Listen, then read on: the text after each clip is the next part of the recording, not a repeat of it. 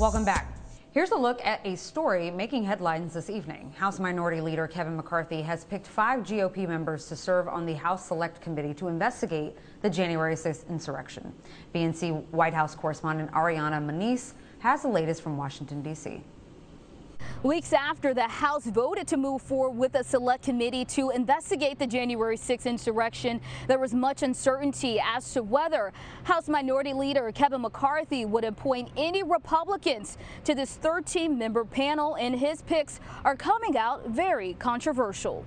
Republican Kevin McCarthy is nominating five GOP members to join the 13-member panel to investigate the January 6 riot at the U.S. Capitol. I think Kevin McCarthy has decided that his role as a minority leader in the House of Representatives is to essentially be chauffeur of the clown car. Members include Representative Jim Banks, who will serve as the ranking Republican member, Representative Jim Jordan, Representative Rodney Davis, Representative Kelly Armstrong, and Representative Troy Nehls.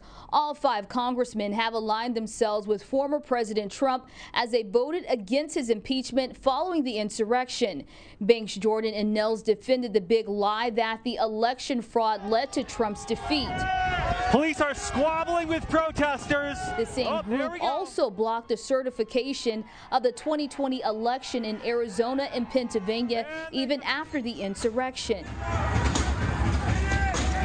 Representative Jim Jordan, a committed defender of Trump, is calling the Democratic-led investigation a partisan attack on the former president. You know what this is about? This is about going after President Trump. You know, I mean, the, the Democrats they don't want to talk about anything else. Was it at the speaker's level where they were offered uh, National Guard protection on January 6th and denied it. House Speaker Pelosi appointed eight members earlier this month, including Republican Representative Liz Cheney, who was the third highest ranking Republican until she refused to toe the party line. Representative Pete Aguilar says the committee will be guided by speaking the truth of what happened. This is going to be a very thoughtful exercise, and uh, we wanted the first hearing to be from those folks directly affected, those Capitol police officers and Metro police officers who put their life on the line. The committee's first hearing will take place next Tuesday. Speaker Pelosi, who has veto powers over McCarthy's appointees, has yet to weigh in on these five Republicans.